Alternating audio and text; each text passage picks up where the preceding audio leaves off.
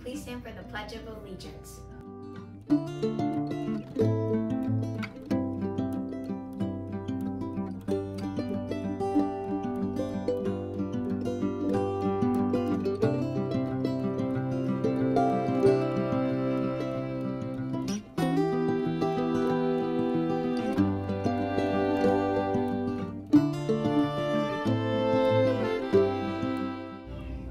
Today is December 1st, and the lunch is chili with Fritos or corn dog.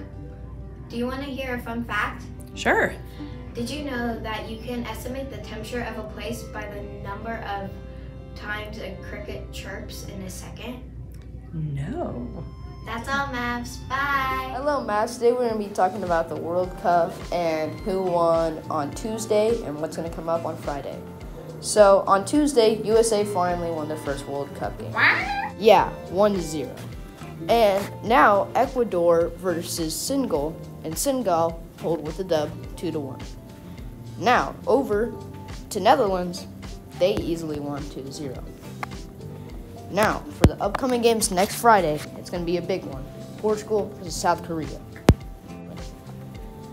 And for Ghana, they're going up against Uruguay. And then we have Serbia going up against Switzerland. And then we got Cameroon, and they're going up against Brazil. Thank you, Mavs, for watching, and goodbye.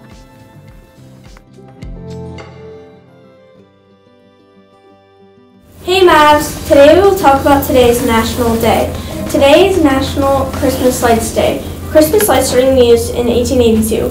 Thank you. Bye Mavs.